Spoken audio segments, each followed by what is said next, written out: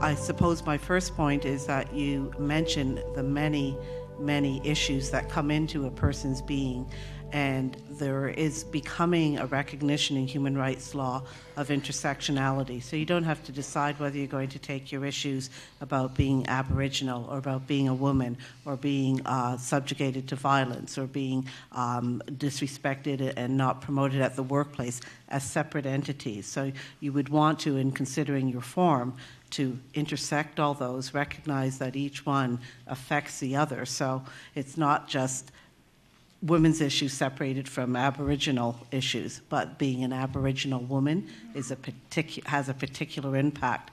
Um, and I think that when you're looking at how would you attack such an issue, you would look, want to look at the forms that would have mandate, mandate and jurisdiction over as many as possible. You might not be able to get them all in one hearing or in one form, so you might have to do a few. Certainly, if you're dealing with violence, you want to involve the criminal role that uh, grievance arbitration and human rights wouldn't as well.